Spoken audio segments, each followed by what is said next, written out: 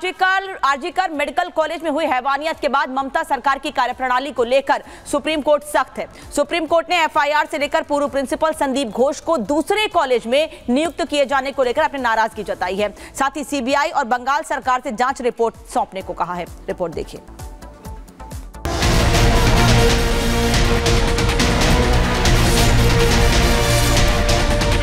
कोलकाता में हुए rape murder case को लेकर सुप्रीम कोर्ट ने आज ममता सरकार को जमकर फटकार लगाई।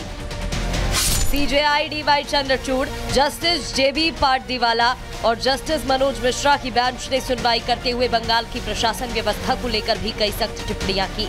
सुप्रीम कोर्ट ने राज्य सरकार की कार्रवाई पर सवाल उठाते हुए पूछा कि वारदात के बाद एफआईआर दर्ज कराने में देरी क्यों की गई? क्यों पीड़िता के माता को देर से सूचना दी गई? क्या प्रिंसिपल ने हत्या को आत्महत्या बताया? पुलिस ने क्राइम सीन को प्रोटेक्ट क्यों नहीं किया? अस्पताल में हुई तोड़फोड़ को सरकार ने क्यों नहीं संभाला? पीड़िता की पहचान को कैसे उजागर होने दिया गया?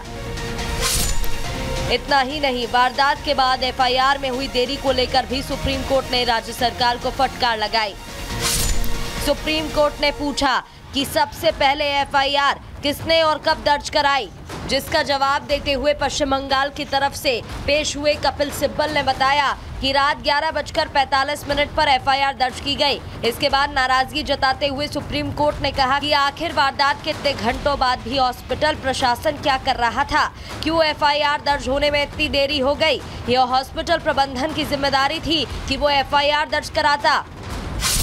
आरजीकर मेडिकल कॉलेज के पूर्व प्रिंसिपल संदीप घोष को लेकर भी सुप्रीम कोर्ट ने ममता सरकार पर सवाल उठाया और पूछा कि राज्य सरकार ने अब तक प्रिंसिपल संदीप घोष पर कार्रवाई की है। जब प्रिंसिपल खुद इस मामले में संदिग्ध है तो कैसे उसको तुरंत दूसरे कॉलेज का प्रिंसिपल नियुक्त किया गया? इतना ही नहीं, जिस जगह वारदात को अंजाम दिया गया, वहाँ रेनोवेशन का काम कैसे किया जा रहा था?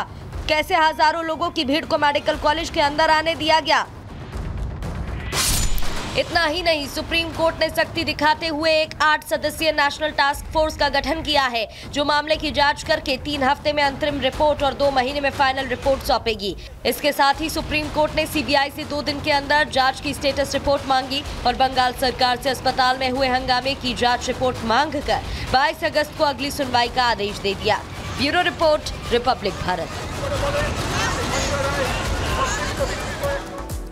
तो देखिए, सुप्रीम फटकार के बाद अब इंसाफ का इंतज़ार है। अब आपको बताएँगे, सर्वोच्च अदालत में आज क्या कुछ हुआ? देखिए, सुप्रीम कोर्ट की तरफ़ से बंगाल सरकार, यानी कि ममता सरकार को फटकार लगाई गई है।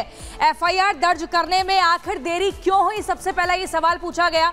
फिर हॉस्पिटल प्रशासन क्या कर रहा था? आखिर क्यों नहीं जल्दबाजी दिखाई? परिवार को देरी से जानकारी क्यों दी गई? उनको इतना लंबा इंतज़ार क्यों करवाया गया? क्राइम सीन सुरक्षित क्यों नहीं किया गया? उस एरिया को सील क्यों नहीं किया गया? उसके बाद कोर्ट कहता है कि हज़ारों की भीड़ अंदर कैसे आई?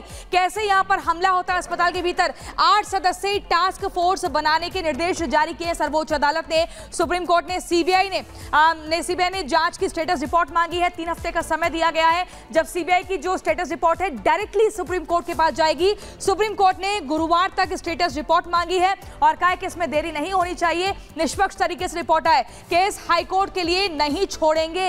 ये भी सुप्रीम कोर्ट ने कहा है, क्योंकि इस मामले में आपको बता दें सर्वोच्च अदालत ने स्वतः संज्ञान लिया था, जिसकी आज सुनवाई हुई थी। पश्चिम बंगाल में कानून व्यवस्था ध्वस्त है। यह भी कहा है सुप्रीम कोर्ट ने, पश्चिम बंगाल के डीजीपी को बदला जाए। आप देखिए किस तरीके से सख्ती से, सिलसिलेवार तरीके से निर्देश जारी हुए हैं, फटकार लगाई गई है, और राज्य की सरकार पर ही सवाल खड़े हुए हैं। कोलकाता पुलिस को भी कटघरे में खड़ा किया गया सर्वोच्च अदालत की आज की सुनवाई में। इसी बीच अगली खबर आपको सलोनी बताएँगी। तो सुप्रीम कोर्ट में क्या हुआ ये हमने आपको जानकारी दे दी, लेकिन अब जो पूरा मामला सामने आया, उसको लेकर अभी तक इंडी गठबंधन की तरफ़ से, विपक्ष की तरफ़ से एक शब्द भी नहीं कहा गया है। और इसको लेकर भारतीय जनता पार्टी ने प्रश्न खड़े किए हैं। घटना को किस प्रकार से, पाँच प्रकारों से नष्ट करने का, या पार्श्व में डालने का प्रयास किया गया। पहला विषय घटना। फिर घटना का संवेदनहीन बचाव। उसके बाद जिस निर्ममता के साथ सबूतों का नष्ट होना, उसके बाद उपद्रवियों के द्वारा वहाँ आतंक और उसके बाद बयान की धमकी। और आज एक बात और स्पष्ट हो गई। कि तृणमूल कांग्रेस की सरकार तो पूरी निर्लजता के साथ अपराधियों को संरक्षण और पोषण देने में तो लगी हुई है, परंतु इंडी गठबंधन का किरदार भी साफ़ हो गया।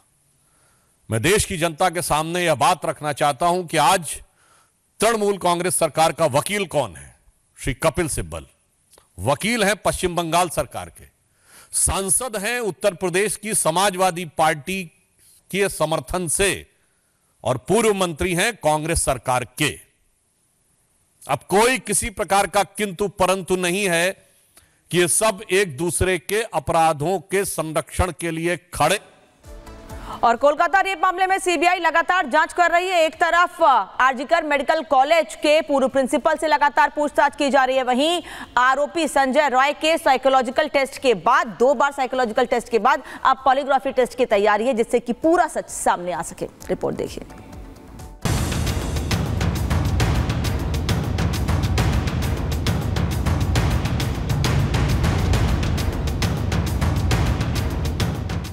कोलकाता रेप मर्डर केस में पूर्व प्रिंसिपल संदीप घोष और आरोपी संजय रॉय पर सीबीआई का शिकंजा कसता जा रहा है। संदीप घोष से जहाँ सीबीआई घंटों घंटों पूछताछ कर रही है तो वहीं आरोपी संजय रॉय के टेस्ट करवाकर हर एक सच जानने की कोशिश की जा रही है।